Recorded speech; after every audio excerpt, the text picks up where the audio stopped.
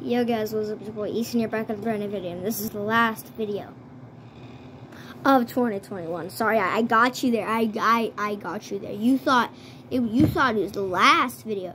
Okay, so I just did a video about the plush resolutions, and I'm gonna do now one, and I'm gonna tell you the meaning. So the one have a good year, not one filled with one not filled with crap, because you see Last year, I used to say, I hope you're having a good day, not filled with crap. It's kind of a joke for people who have stayed, you know, the whole thing. Stop the masks. That's a really good one because we need to stop all this bullcrap.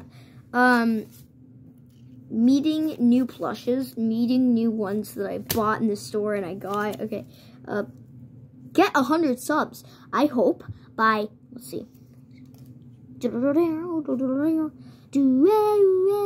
by July, I at least want to have over 36 subscribers. 100 probably by July.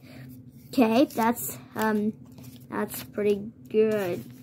Um all right, fit in more at my new school. Yeah, because apparently um oh, the kids are like, "Oh, we used to go here. We went here." So yeah.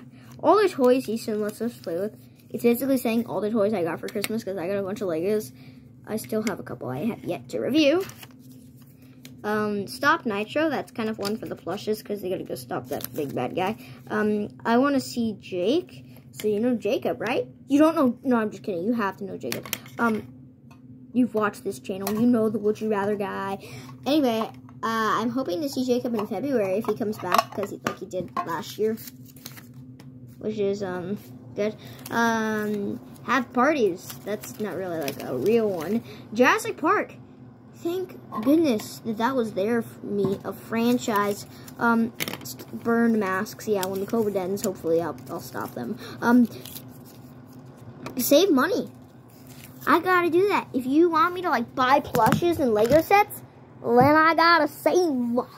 So yeah, don't think I'm just like made off money, okay? Because I'm not. Like I'm not. Usually my parents buy me stuff, but still, I've lost $30 in my wallet million things. Okay, yeah, I'm not sad anymore. Um, anyway, um, I do hope you have a good New Year's Eve. I guess I'll see you guys on 22 too. What do you think about that, plushes? Yeah, see you on 22. Yeah, see you on 2022. Alright, guys, I hope you have a good New Year's Eve. Hope you enjoy some of the fireworks that people are going to put out.